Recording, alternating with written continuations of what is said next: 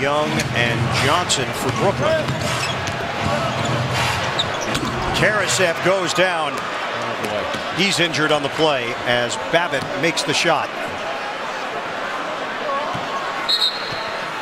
Nets will take a timeout. boy. Not good body language for Karasev.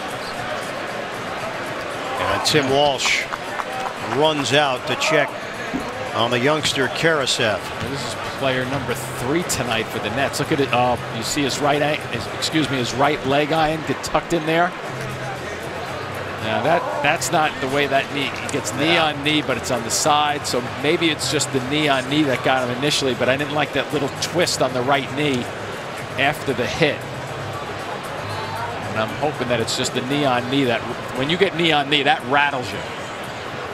Let's hope that's all it is. And I don't mean I don't mean to diminish that, but that's what you want. You want knee on knee rather than any twisting or That did not look like a good angle no. for his right leg. We'll come back in a moment.